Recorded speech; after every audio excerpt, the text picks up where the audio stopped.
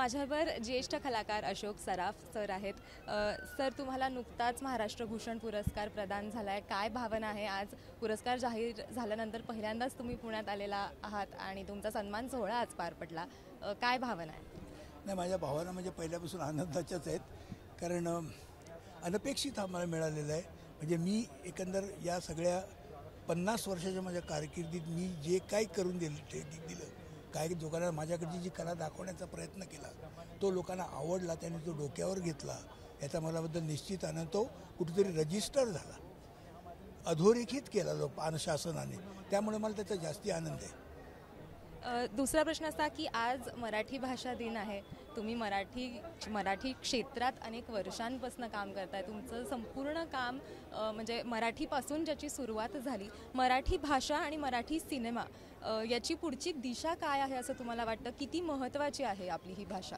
मराठीच्या बदलून की मराठी भाषा सारखी भाषा नाही दुसरी. कारण मराठी भाषा ही समृद्ध आहे का तसं पाहिलं तर. तुम्ही एक शब्द बोलला तर त्याचे आणखी सात आठ शब्द हे अर्थ निघू शकतात. सात आठ पर्याय आहेत इतकी आपली प्रचंड शब्दाची ताकद आहे आपल्याकडे. तर मराठी भाषा तुम्ही वळवाल तशी वळवते चांगली असेल तर चांगली शब्दाने तुम्ही एखाद्याचं नुकसान पण करू शकता एखाद्याला आनंदी पण करू शकता. इतकी शब्दामध्ये ताकद आहे. तर मराठीबद्दल काय प्रश्नच नाही. जो करायचं आहे ते ते म्हणजे आम्ही प्रेमानंच करायला पाहिजे आणि कर करायलाच पाहिजे. बाकीचं ठीक आहे. बाकीचे करतात सगळे. बाकीचे त्यांच्या त्यांच्याप्रमाणे अर्थात कुठली भाषा कधी वाईट नसते. त्यांना त्यांना ती आवडतच असते. पण प्रत्येक मराठीबद्दल जर बोलायचं म्हटलं तर मराठी भाषा एक ग्रेट आहे. एक शेवटचा प्रश्न फक्त की तरुण पिढीला ज्यांना या क्षेत्रात पाऊल ठेवायचं आहे त्यांच्या घरच्यांना म्हणा किंवा समाजात थोडीशी भीती असते या क्षेत्रात पाऊल ठेवताना त्यांना काय सांगा नाही बरोबर हा प्रश्न प्रश्न वाजवी आहे. कारण काय माहिती आहे? त्यांच्यापुढे उदाहरणं असतील काही बरीचशी उदाहरणं असतील की सिनेमात गेला आणि वाया गेला. किंवा माझ्याही घरातून मला परमिशन तशी नव्हती पूर्ण. कारण काय असतं कोणालाही वाटतं ना की त्यावेळच्या म्हणजे अजूनही असं वाटतं की आपल्या मुलांनी कुठेतरी चांगलं शिकावं चांगलं करावं चांगली नोकरी पडावं चांगला कामधंदा ठरवावा आणि सेटल व्हावं. हे प्र कुठल्याही आईबापाची हे बसते इच्छा असते.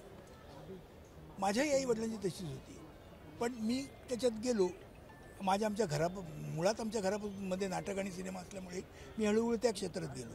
पण मी त्या क्षेत्रात गेलो पण मला गॅरंटी नव्हती ना काय होईल ते.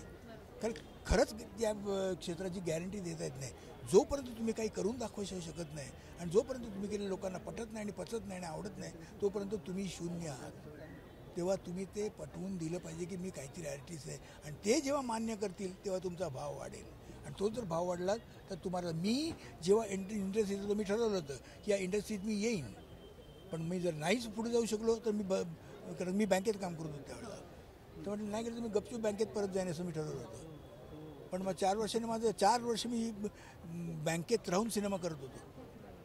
मग शेवटी मला कळलं की आता मी एकही दिवस जाऊ शकत नाही तेव्हा मी सोडून दिली. खूप खूप शुभेच्छा सर तुम्हाला या पुरस्काराबद्दल. आणि तुम्हाला हा पुरस्कार मिळाला त्याचा जितका आनंद तुम्हाला आहे तितकाच मला वाटतं सगळ्याच प्रेक्षकांनाही आहे. आणि त्यांचं सगळ्यांचंच अर्थात तुमच्यावरती प्रेम आहे. आपल्याबरोबर ज्येष्ठ अभिनेते अशोक सराफ सर होते. आणि त्यांनी आपल्याला असं सांगितलेलं आहे की तुम्हाला जर या क्षेत्रात पाऊल ठेवायचं असेल तर कुठेतरी भीतीही असते. मात्र पाऊल ठेवणं ती हिंमत दाखवणं हे गरजेचं आहे.